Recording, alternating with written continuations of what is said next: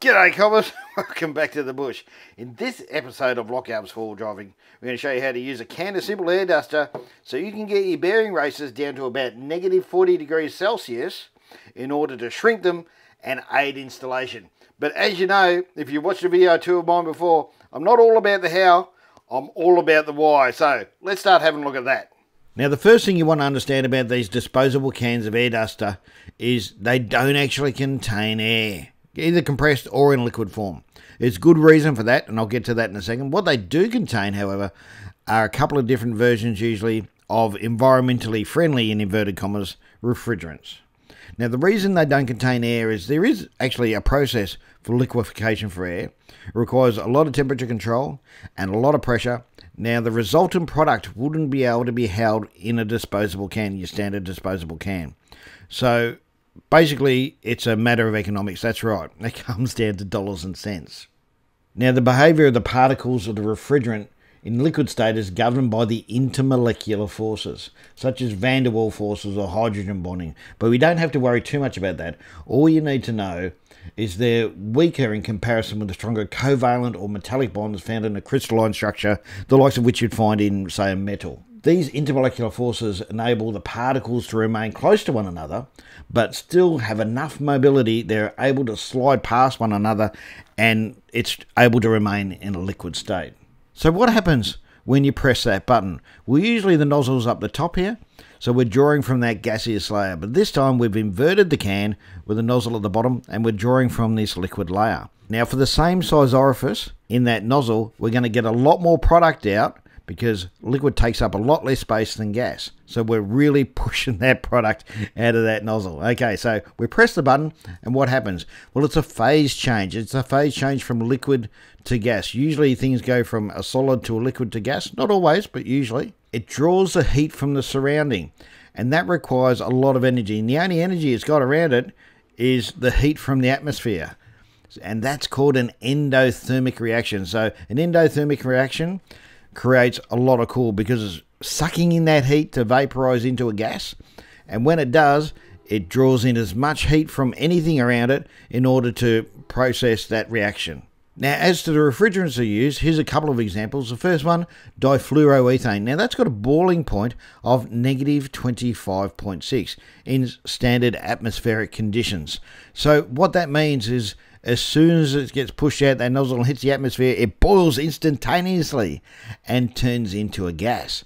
The same with the tetrafluoroethane. Again, around the same boiling point of negative 26.3. So again, just like the difluoroethane refrigerant, when it pops out that nozzle there, it hits atmospheric conditions, boils instantaneously, and then we have the phase change from liquid to gas. That's how it works. So why would the diameter of your bearing race get smaller when you cool it down? So metals have a defined crystalline structure. Now this one for steel is called the face-centered cubic crystalline structure.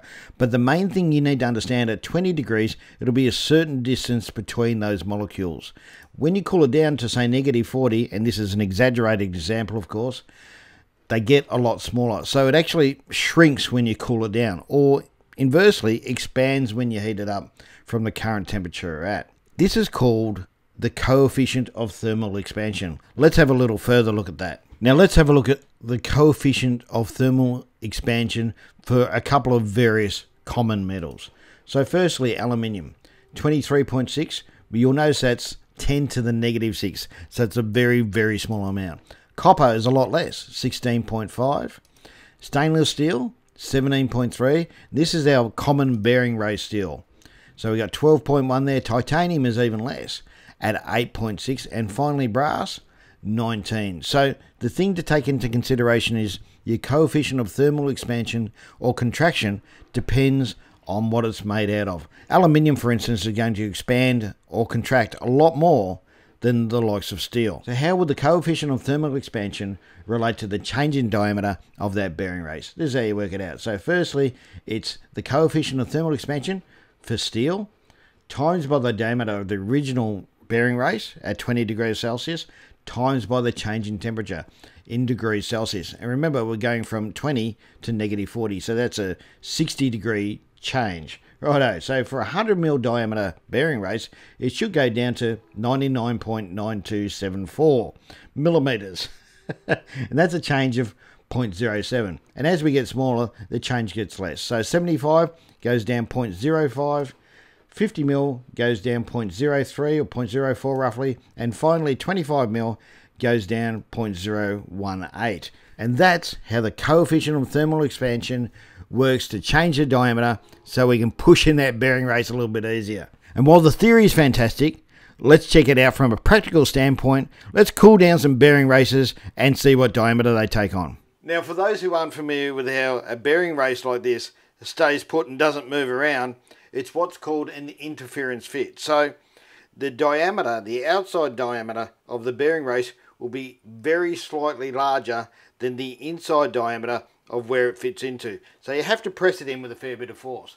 And the higher the interference between the two, the harder you have to push.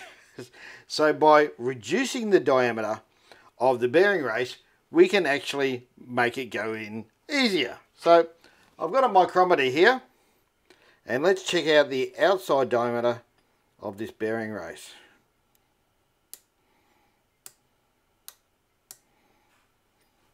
Okay, and as you can see here, it's 82, just under 82 millimeters, so it's 81.99 millimeters. Okay, so we'll cool it down now, and we'll check out what temperature it comes to. As you can see, if I put the thermocouple probe under there, it's sitting at roughly room temperature. I've been handling a bit, so temperature's up a bit, sitting at about 22 degrees Celsius. Okay, let's cool it down.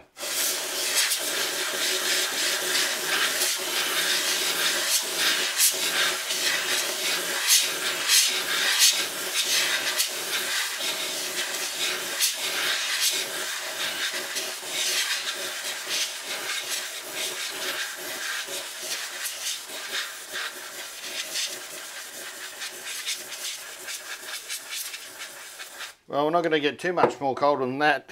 the can's expended. Okay, so let's take it off our plate here and measure it up again.